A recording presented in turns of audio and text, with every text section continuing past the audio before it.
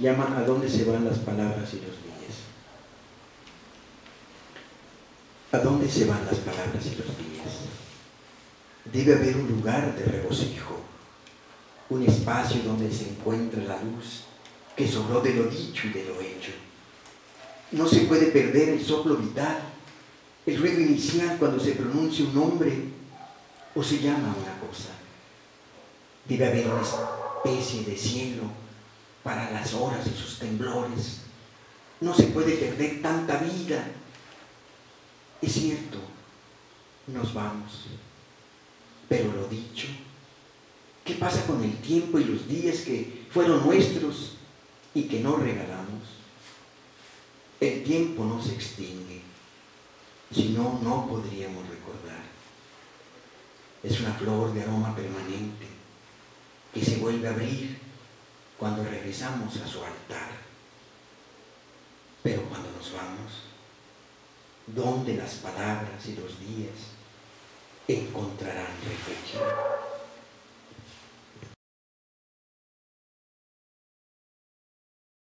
¿Cuántas veces te amé sin acordarme que tu mirar había crecido entre lluvia y azucenas? Ya eres de otro país donde las noches huelen a luz de mariposas y las mañanas imaginan tus pies pisando a abril. Ahora que te vas tocando asombros, me ha dicho una voz que tu corazón, recostado en la tierra, sabe dónde mirar y poner la piedra con la que se construye la esperanza.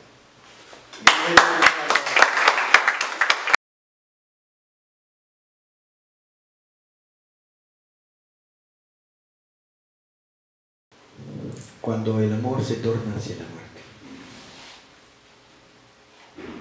Cuando el amor se torna hacia la muerte, no hay llanto que alcance o vestimenta que pueda el dolor amainar en su bravura.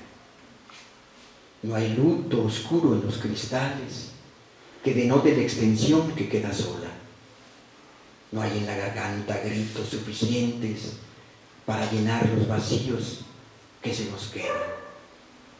Y es que se acaba el aire para el vuelo de las palabras y su significado.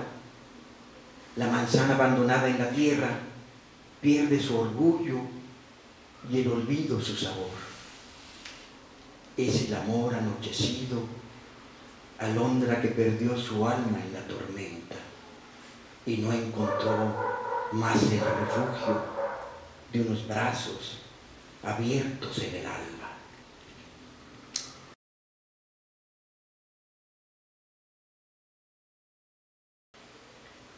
No te detenga la luz y la sombra de las cosas. Ve al destierro al centro del impulso, a los pies de la muralla, al día. Todo es tiempo y saudade, ágil algarabía de los instantes, pupilas encendidas por un niño. Así es vivir, bajar de las colinas por la tarde, el perfecto poder del sueño, estar en el centro tener en las manos la distancia. Sé que así es, pero se cambia.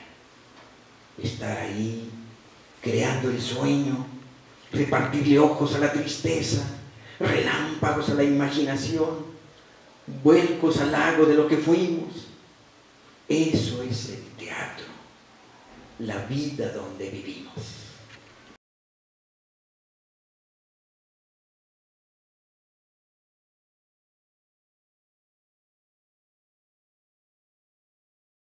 Pávense, mi nieto Luis Pablo.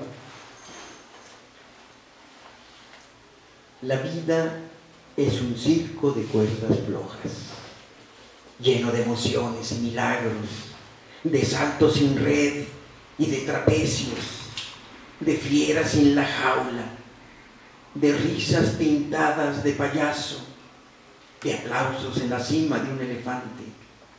Hay también cien malabares que se deshacen en el aire. El circo es un sueño de celofán. Vale la pena pagar la entrada para aprender a volar con un júbilo de mariposas.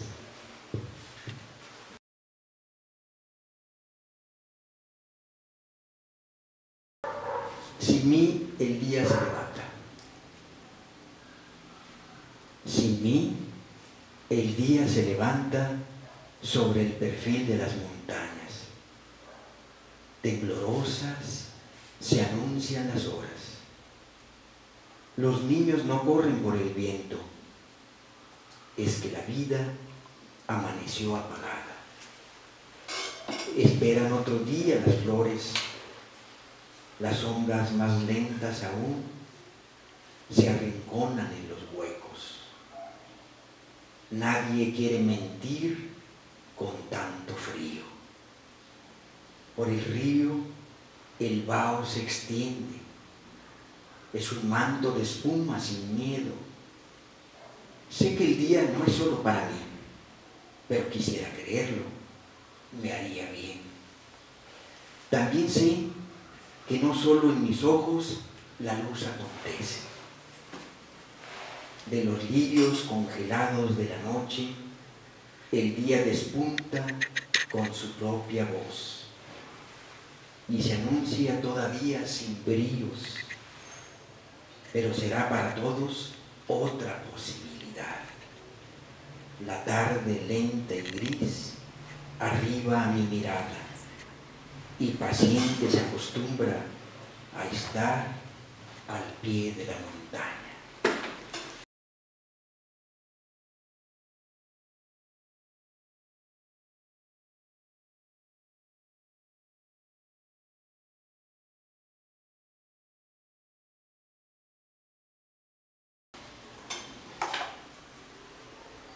Volver al pasado, al enamoramiento de la magia al día en que corríamos las colinas como si el viento fuera nuestro y los tobillos fueran de agua y el dolor nos viviera lejos. Volver a los labios mojados por la perpetua lluvia, a las alabanzas de la razón escondida en tu corpiño. Volver al pasado posible sin que los años pesen y las heridas nos recuerden y que seamos nosotros los que impongamos al futuro los pies, los pasos y el camino.